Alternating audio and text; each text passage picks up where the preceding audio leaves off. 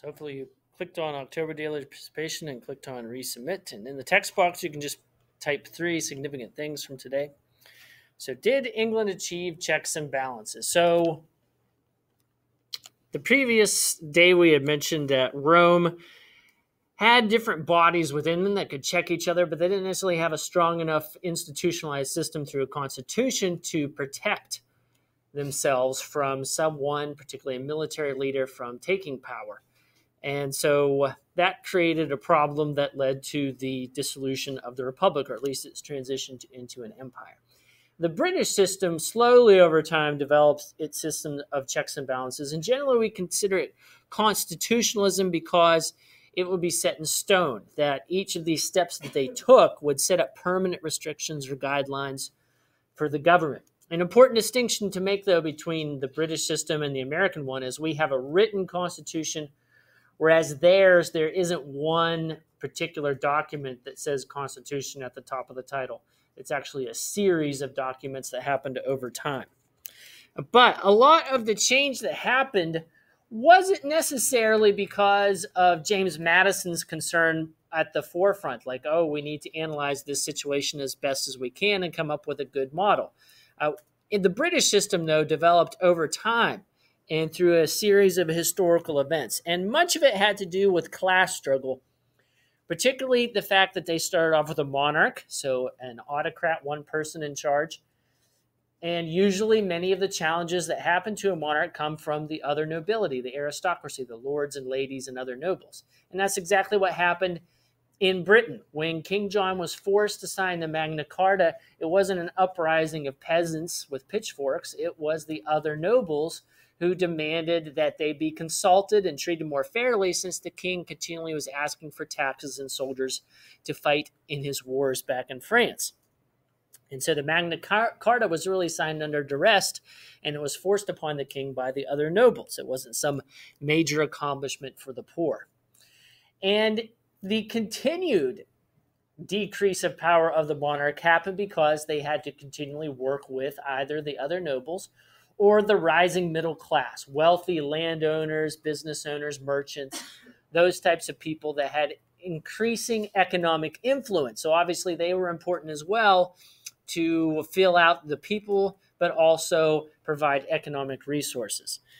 And so then, of course, the middle class wanted to increase their rights and their representation in the government. And so the eventual rise of the House of Commons was a reflection of that. And that is actually the body that is most dominant within the British system today. And so, really, the British constitutional system developed because of monarchy versus nobles and then nobles versus the middle class. So, these various constitutional steps happened because of this class conflict. So, you had the Magna Carta that was first. You eventually had the Petition of Rights, which was signed, taking some more power away from the king and that was because Parliament would only cooperate with him to raise taxes and other things, King Charles I, if he signed this. And then later on, when Parliament basically, due mostly to Catholic bigotry, uh, did not trust King James II, they basically fired him and put out uh, a search for a new king and queen, and they found King William and Mary, who were equally Protestant. They were relatives of King James II and basically said, Why don't you come rule over England as long as you pinky promise to be Protestant and sign this Bill of Rights guaranteeing, once again, that Parliament is the one that's in charge and that people have certain protections when it comes to freedom of expression and if they're accused of a crime. So, really, these steps that were taken happened over a period of a couple different centuries. They weren't all at once. It wasn't some inspirational plan like James Madison had. And even then, there were still a lot of governmental problems inside the British system that needed to be worked out. Uh, by the 19th century, the situation had heavily favored this wealthier middle class, and they wanted to make sure that they kept power. So, Parliament, for instance, had never changed the map and the way that districts work out in the House of Commons. We have to change ours every 10 years after the census is taken. So, you had some districts that had a member of parliament with only a few hundred people in, and then other districts that had a million people in. So it didn't really make any sense. And it seemed like it was generally meant to favor rural, large scale landowners. And so in 1832, there was a great reform push through to change that so that way the districts were spread out more evenly, although it wouldn't fix all of the problems because it wouldn't be until 1928 that all adults were guaranteed to have a right to vote within the British system. And then on top of that, the checks and balances that exist, they certainly do exist on the monarch because now, even though the monarch technically still has the power to veto and things like that, they never will because Parliament has control over the entire budget. So if the monarch keeps wanting to get paid, they of course are going to acquiesce to whatever Parliament wants. But inside Parliament, there isn't necessarily a clear system of checks and balances because in the House of Commons, the majority party chooses the prime minister and the cabinet and they are part of the House of Commons. So the legislative and executive branch are part of the same body. And so the prime minister, who is currently Boris Johnson, he not only is the head of government, but he also represents a little district inside England. So he is a representative, like a member of the House would be here, and he's the head of government at the same time.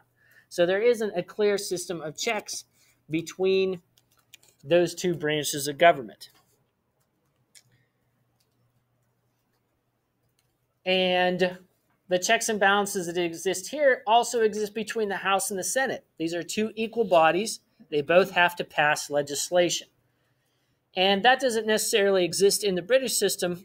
Uh, the House of Lords has mostly been defunct. It has only basically a veto power in that it can stall legislation for a short period of time, and that's it. Uh, inside the House of Commons, there's no check on pushing through rapid legislation because they have a much more disciplined party system. Boris Johnson is the head of the Conservative Party. If he wants a bill that gets passed, there's almost a 100% chance guarantee because he has a majority of the members that it will pass. He'll just put it up, there'll be a short debate on it, and then his membership will approve of it. And that will be enough votes to get it passed. And I said it's disciplined form of party system because, for instance, there are about 10 conservatives that didn't want to vote for one of his first proposals when he came to office. So before the next election, he kicked them out of the party so that way they couldn't run for office again.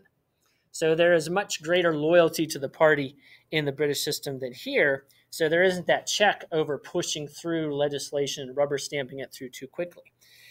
And then, of course, the, the final thing that I'll mention is, is we also basically, in a way, have a a system of checks in the fact that we also are a federal system. We have 50 states, each with their own government, that have basically any of the any of the powers or responsibilities not mentioned in the Constitution, thanks to Amendment 10.